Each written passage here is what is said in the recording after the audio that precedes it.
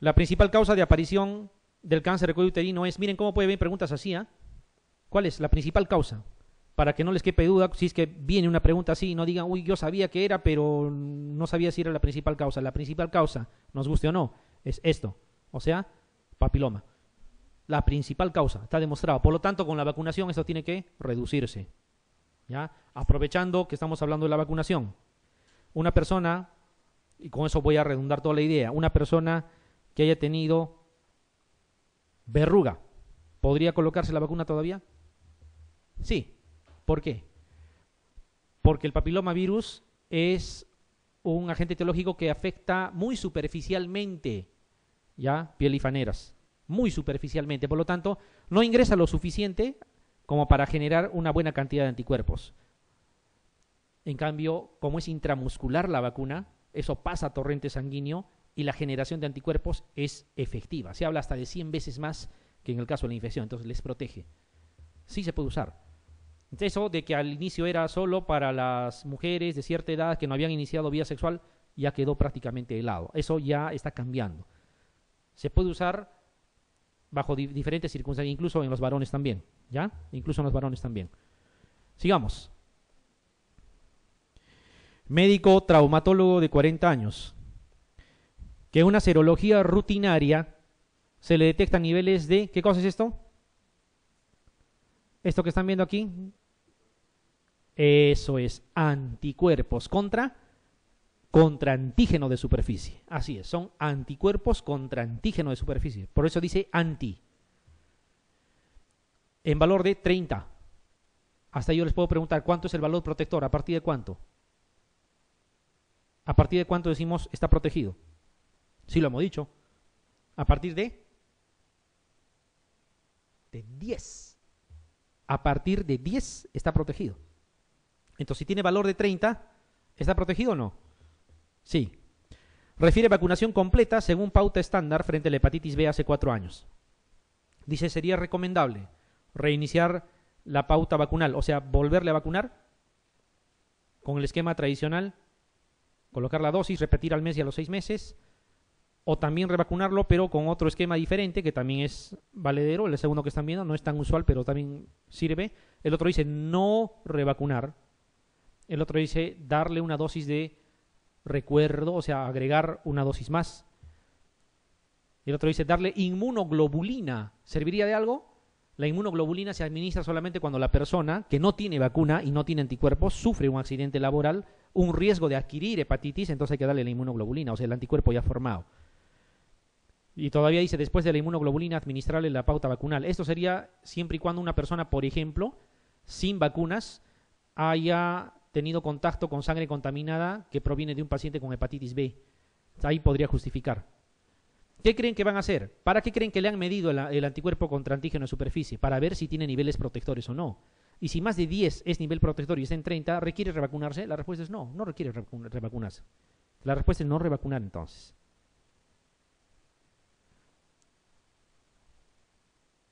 Siguiente.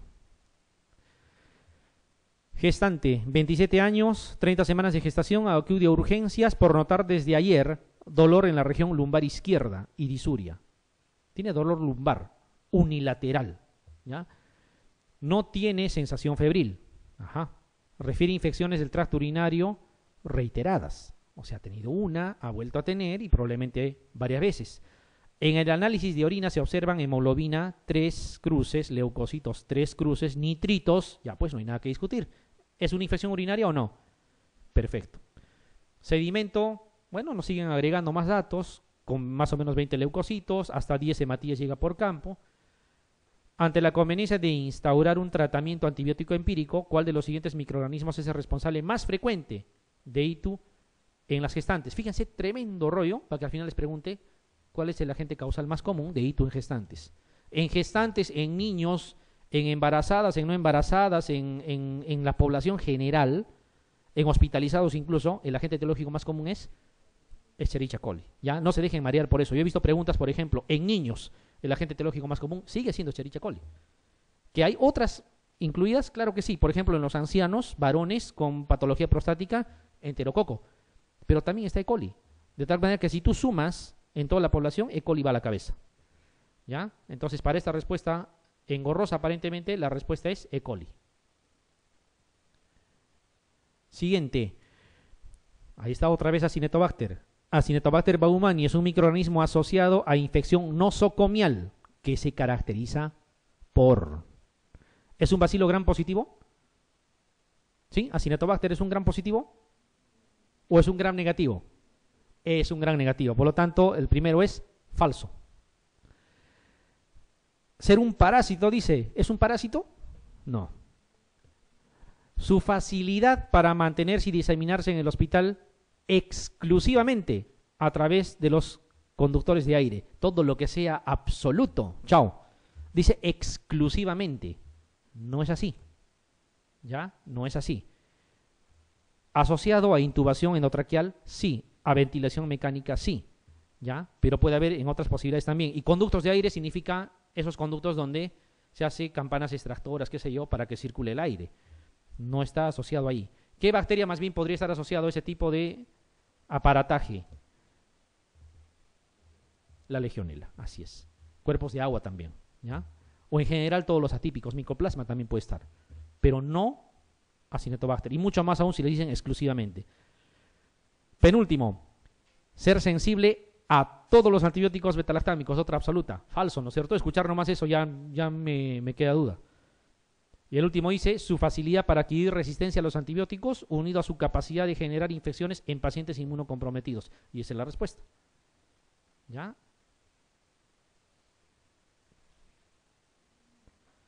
La alternativa E, la última. Por eso en una pregunta, fíjense cómo en preguntas diferentes, en años diferentes, intentan preguntarles lo mismo. En la anterior les han preguntado sobre un Acinetobacter MR, porque justamente su gran problema en el Acinetobacter es que se hace resistente. Y aquí plantean lo mismo, pero dicho de otra manera. A ver, ¿cuál de las siguientes afirmaciones referidas a los virus herpes es correcta? Herpes. Son virus RNA. ¿Son virus RNA? Herpes, ¿qué dicen? ¿Quién se acuerda? DNA. Todos los herpes son DNA. ¿Ya? Todos los herpes son DNA. Los RNA son los que empiezan con R, rinovirus, reovirus, ¿no es cierto? Retrovirus, con R de RNA. Otro, ¿cuál era el grupo? Aquellos que le quitábamos el sufijo virus y lo que queda de, de su nombre, si tiene significado, sigue siendo virus RNA. Por ejemplo, togavirus, le quito virus toga, virus RNA. Arenavirus, arena, virus RNA. Filovirus, filo, virus RNA. La otra era aquellos que tenían RNA en su escritura. Por ejemplo, picornavirus. Si ustedes escriben picornavirus, dice RNA virus. Es otra forma de recordar también. ¿Ya? Y eh, los que tenían la letra Y, bunyavirus, paramixovirus, ¿no? En el caso del DNA, los ejemplares de DNA son justamente este, los virus herpes. Y aparte de los virus herpes, el virus de la hepatitis B. Todos los demás virus de la hepatitis son RNA también. Ya, entonces, no, los virus del herpes no son de tipo RNA. Falso. Nos están pidiendo la correcta. Siguiente. Los mecanismos involucrados en la patogenia de las infecciones causadas por los virus del herpes simple tipo 1 y 2 son muy diferentes. ¿Qué opinan? Sin complicarse en palabras simples están diciendo, para adquirir herpes 1 es muy diferente que para adquirir herpes tipo 2. La respuesta es no.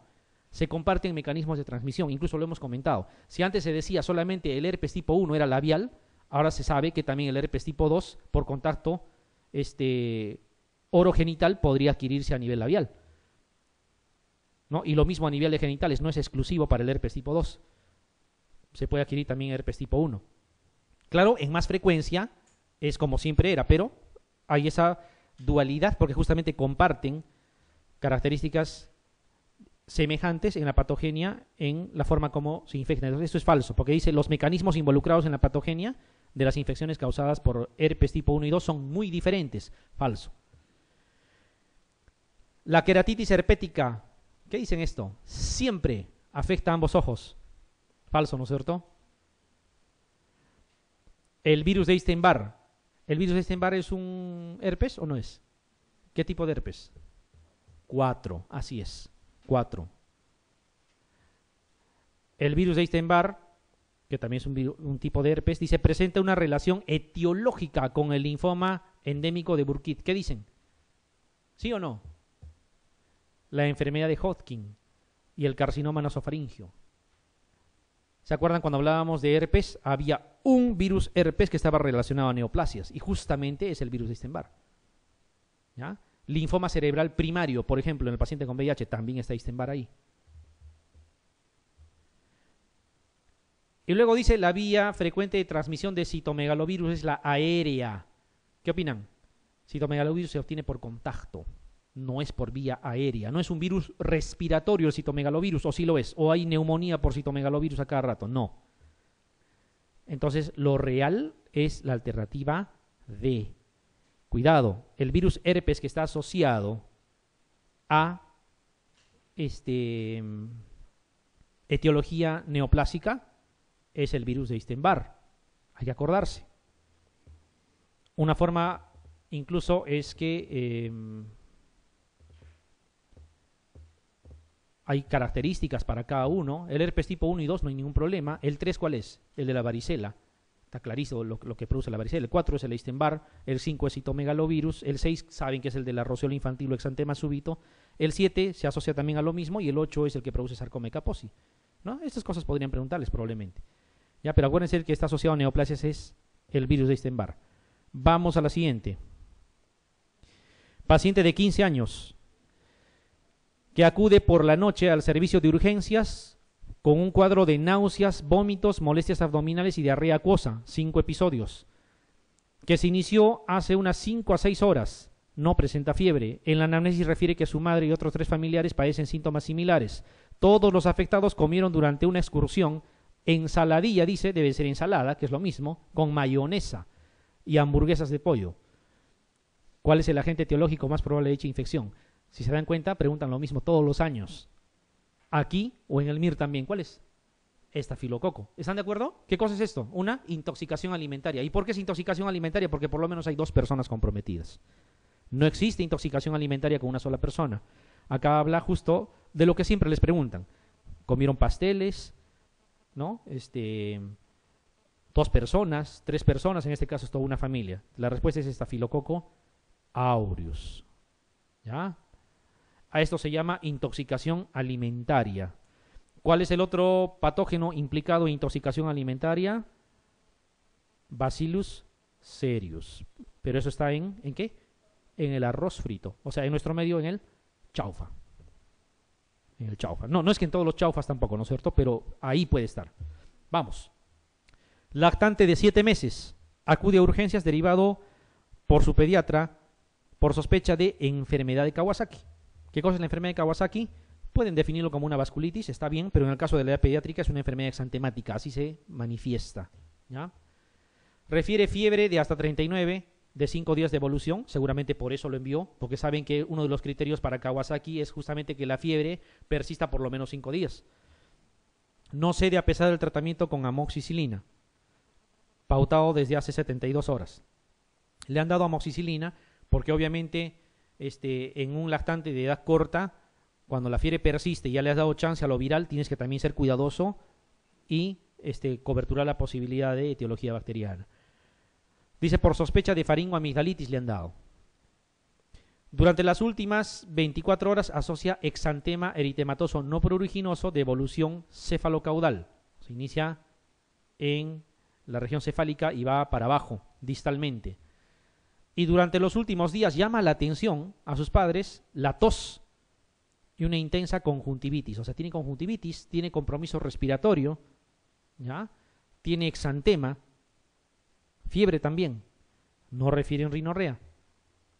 A la exploración clínica presenta subcrepitantes en ambas bases pulmonares, o sea, está haciendo un cuadro. ¿Qué cosa es un subcrepitante? ¿Qué cosa traduce? Neumonía no esa, por si acaso, es compromiso bronquial.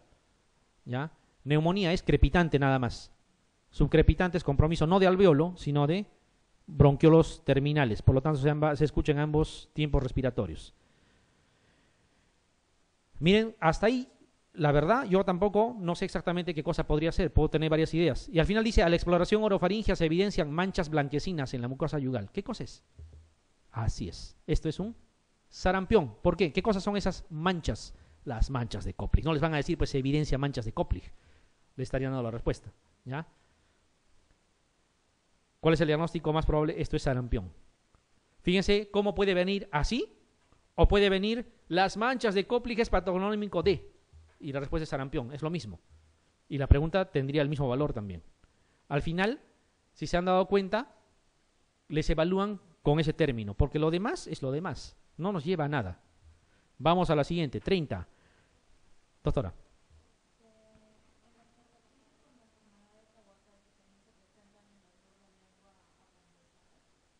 En la escarlatina. Mm, sí. Es que la, en la escarlatina lo que te van a decir es un cuadro faringio, propiamente bacteriano, con todas las características bacteriano, incluso con, este, con material purulento a nivel orofaringio, ¿ya? y que después va a descamar y te van a dar además otras características, las fases de Filatov, te van a decir las líneas de pastilla, ¿no? que te van a hacer pensar justamente en escarlatina. Si te hablan de Kawasaki, te tienen que dar más cosas. ¿Qué cosa falta acá? Falta edemas periunguiales, lengua en fresa, conjuntivitis sí tiene. ¿Qué cosa más falta? Para asegurar les van a decir que tiene un problema cardiovascular. Eso sería en el caso de la enfermedad de Kawasaki. Pero aquí no les hablan nada de eso, los mandan al desvío hasta que les hablan de las manchas de Koplik al final.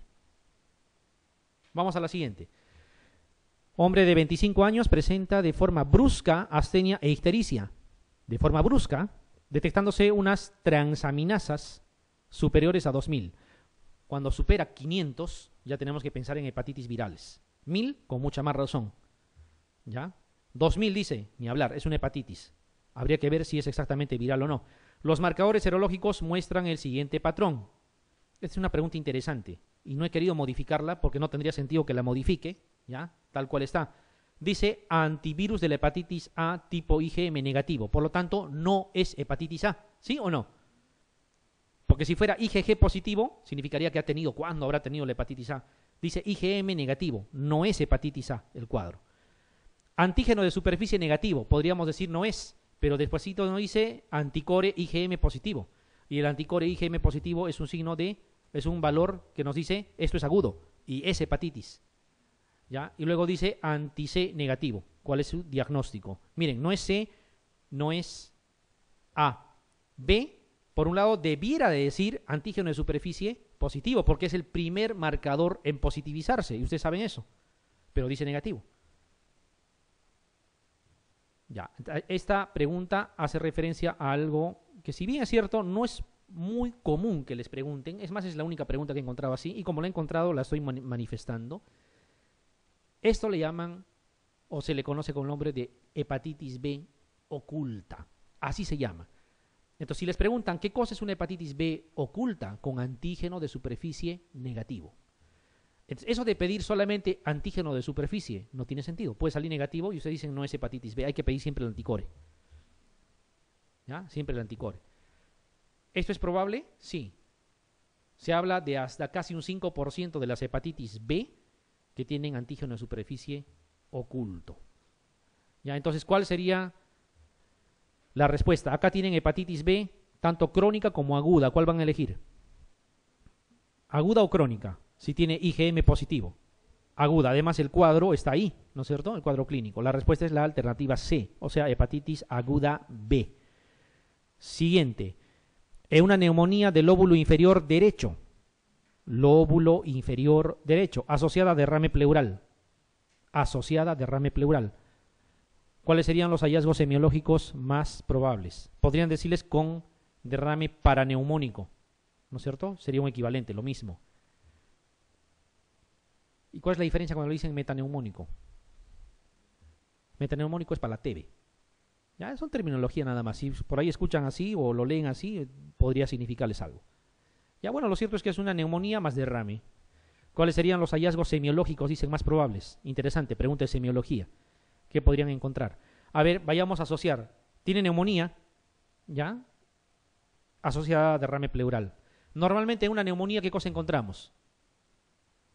Ya no hablemos de la inspección, hablemos de la palpación. Vibraciones vocales estarían aumentadas. ¿Sí? Estarían aumentadas. ¿Qué más? En la auscultación escucharíamos crepitantes. A la percusión, matidez probablemente. Pero la presencia del derrame pleural nos va a hacer variar en algo. Las vibraciones vocales van a estar aisladas. No se va a escuchar. ¿Ya? Ahí vayamos con esa, con esa situación. A ver, dice inspección y palpación de tórax normal, o sea, palpación normal, o sea, las vibraciones vocales normal, dice, no creo, ¿no? Crepitantes homolaterales a la auscultación. Podría ser, pero lo que no, no nos convence es que la palpación del tórax sea normal. Palpación, ¿qué cosa evaluamos en una neumonía? Las vibraciones vocales. Si tiene su derrame pleural y creen que normal van a estar las vibraciones vocales, no. Reducción de la transmisión de las vibraciones vocales en emitoras derecho. Eso sí podría ser, ¿ya? Porque está ahí el derrame pleural. Si fuese solo neumonía, sí estarían aumentadas las vibraciones vocales. Acá dice disminuidos debido al derrame. Pero nos dice murmullo vesicular normal en el mismo emitórax. ¿Podría estar el murmullo vesicular normal en una neumonía? No. Y en una neumonía con derrame, peor. ¿Qué cosa significa murmullo vesicular? Que el sonido ingrese y salga de los pulmones con un sonido habitual normal, sin patología. Entonces, ninguno de los dos está bien. Matidez a la percusión, eso sí. Claro, porque hay un derrame. En el emitórax derecho. Sonido pulmonar reducido, que es lo mismo decir vibraciones vocales. Y roncus en el mismo emitórax. ¿Podría haber roncus?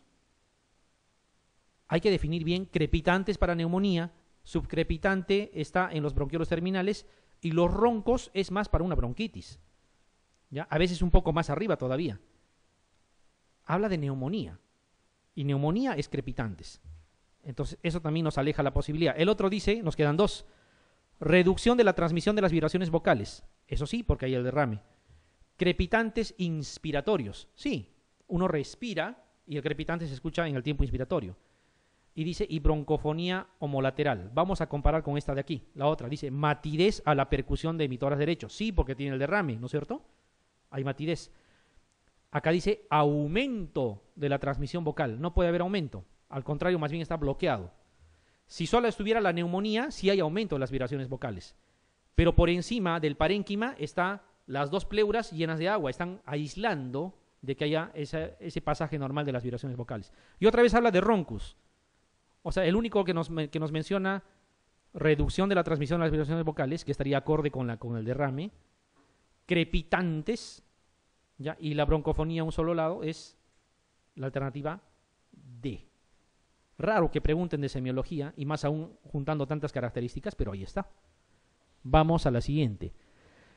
¿Cuál sería el diagnóstico más probable de una paciente de 35 años de edad que desde hace varias semanas presenta algún episodio aislado de hematuria leve, hematuria, dolor en el flanco tipo cólico, polaquiuria y en análisis de orina aparece piuria ácida, o sea, como si fuera una infección urinaria, el pH es ácido con urocultivo negativo. Típica pregunta, ¿qué cosa es eso? Así es, doctores. Ven eso y para ustedes eso es TB.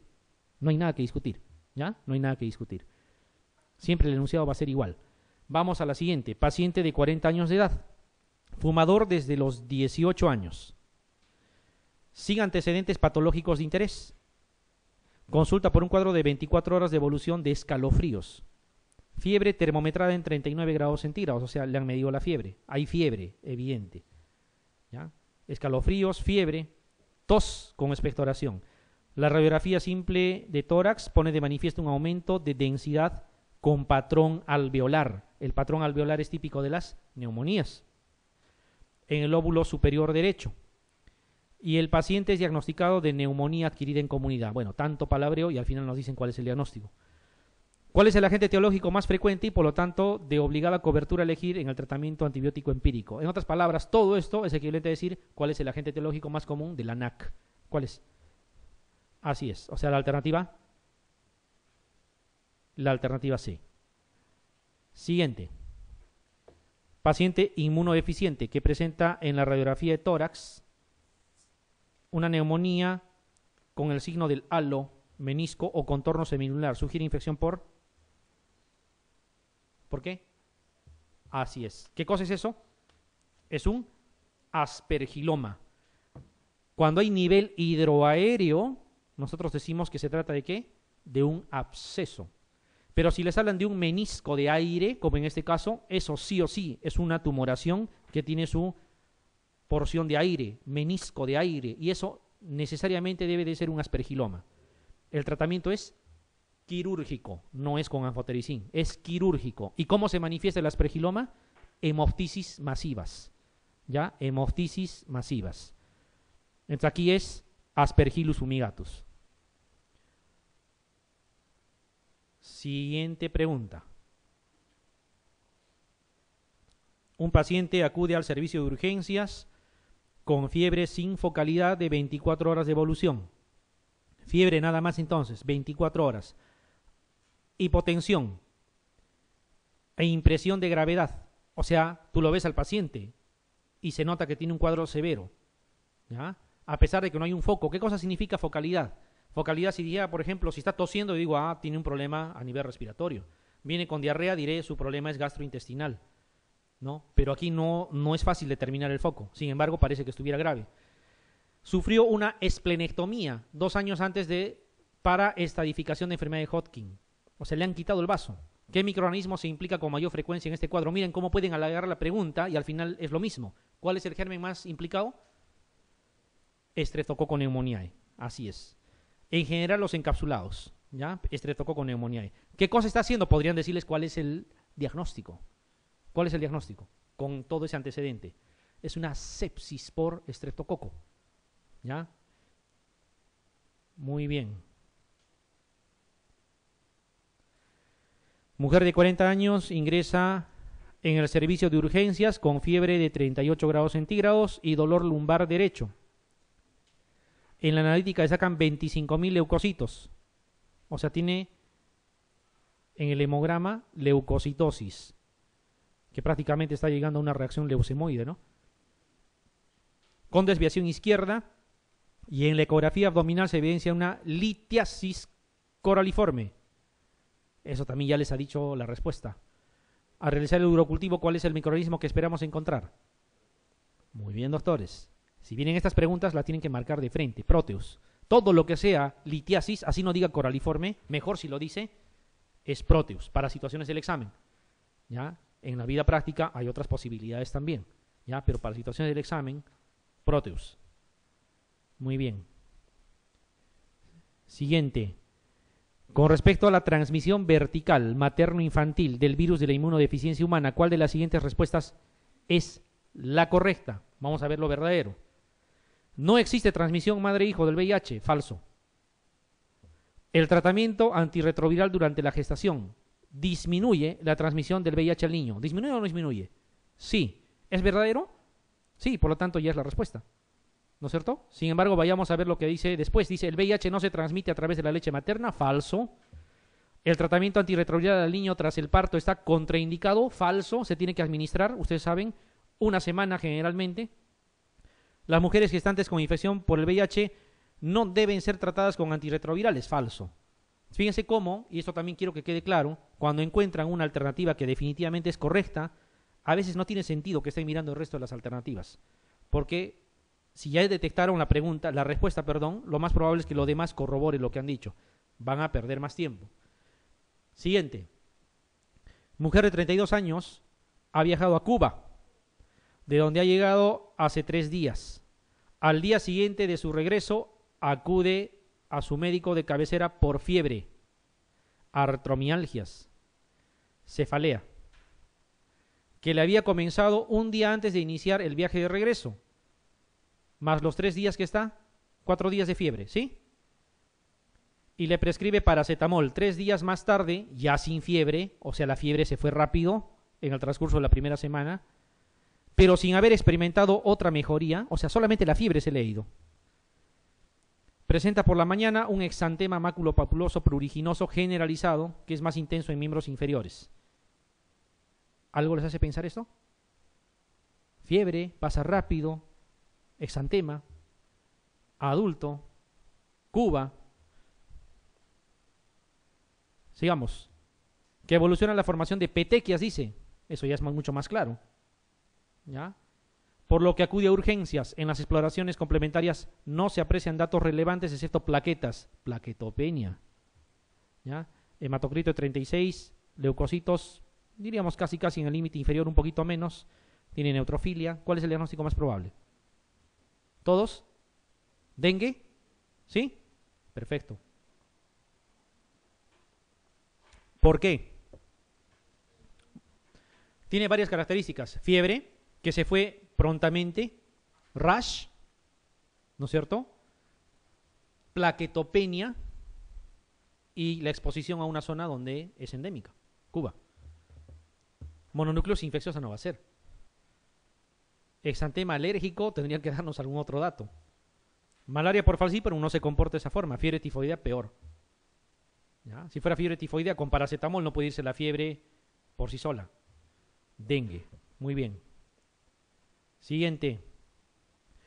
En un niño con una inmunodepresión severa por un cuadro linfoproliferativo, o sea, es un inmunosuprimido, ¿cuál de las siguientes vacunas estaría contraindicada? A ver, ¿cuál?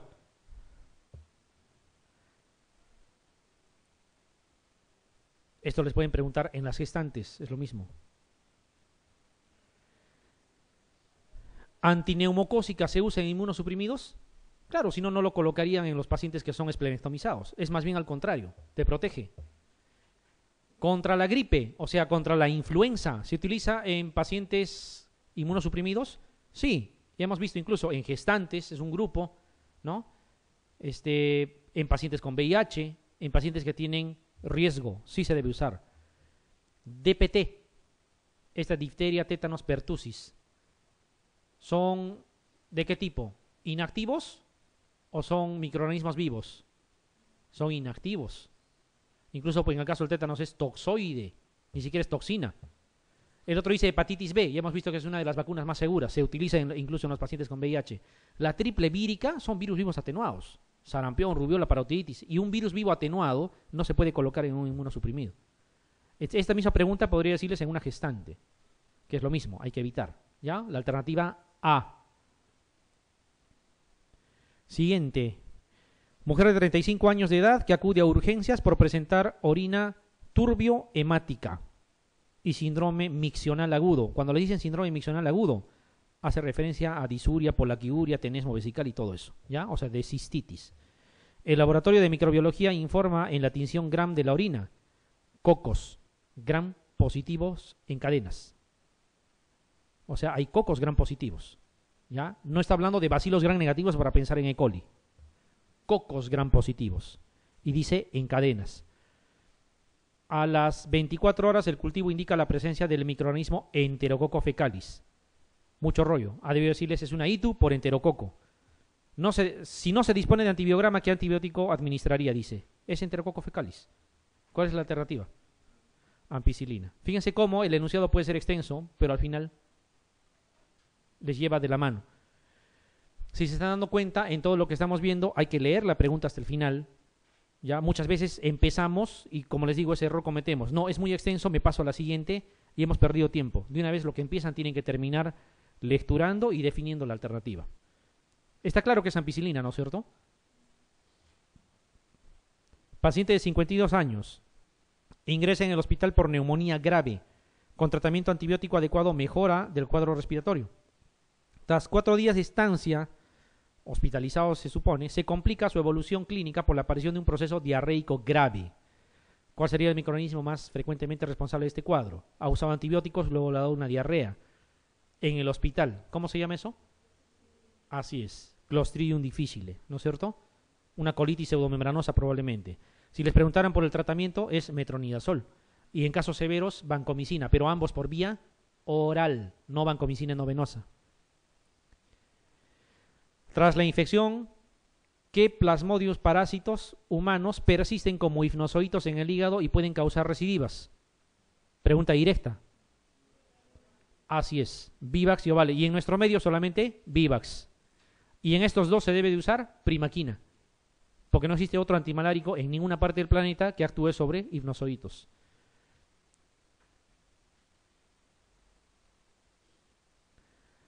¿Qué es cierto de la encefalitis herpética? encefalitis herpética. No está hablando meningitis.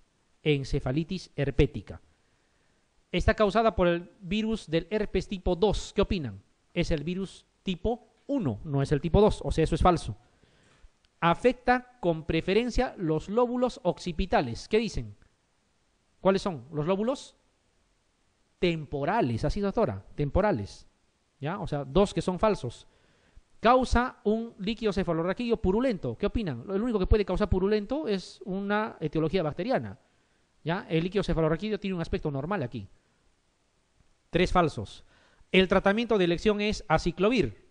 Claro que sí, es aciclovir. Y el otro dice la resonancia magnética es diagnóstica. Falso. ¿Cuál es el, diagnóstico? ¿Con qué se hace? Con PCR en líquido cefalorraquídeo. No se olviden, ¿ah? Reacción cadena en polimerasa para herpes tipo 1, PCR para herpes tipo 1 en líquido cefalorraquídeo. Ese es el único diagnóstico, digamos, aceptado. Y a veces eso es pregunta. Más de una vez han preguntado. Siguiente. Ante un paciente anciano contra